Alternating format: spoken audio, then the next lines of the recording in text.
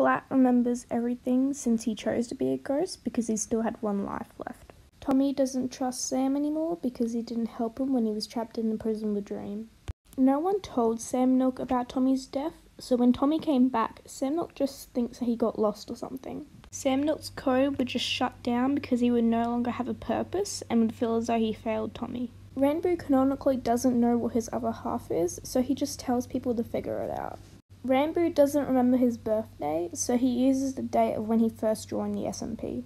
Wilbur just brought Tommy home when Tommy was only nine, so he basically just became part of the family. Tommy once called Phil Mumza by accident instead of Dadza, and they never let him forget about it. Tommy once accidentally called Sam Nook Dad Nook and just completely shut down, and you could almost hear the windows sound.